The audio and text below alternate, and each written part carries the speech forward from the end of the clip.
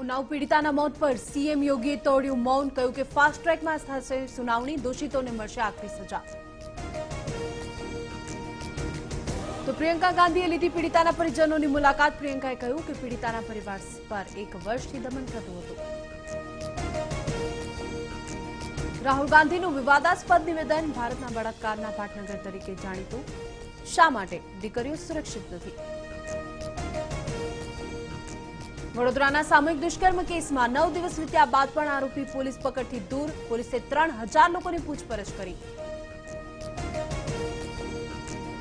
ડીપીએસના ખોટા એનઓસી મામલે શાળા સંચાલકોની આગોતરા જામીનની અરજી પર કોર્ટે ચુકાદો અનામત રાખ્યો. ચુકાદો ન આવે ત્યાં સુધી પોલીસ નહીં કરી શકે ધરપકડ.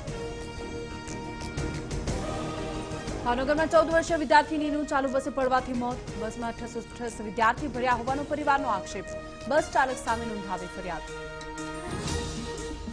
સરકારી સહાય મેળવવામાં ખેડૂતોને હવે નવી જફા. ઓનલાઈન ફોર્મ ભરવામાં તકલીફ પડતા દોઢ લાખ ખેડૂતોએ જ ફોર્મ ભર્યા.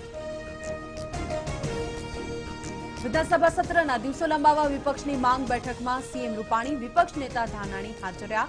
સોમવારથી શરૂ થશે વિધાનસભાનું ત્રિદિવસીય સત્ર.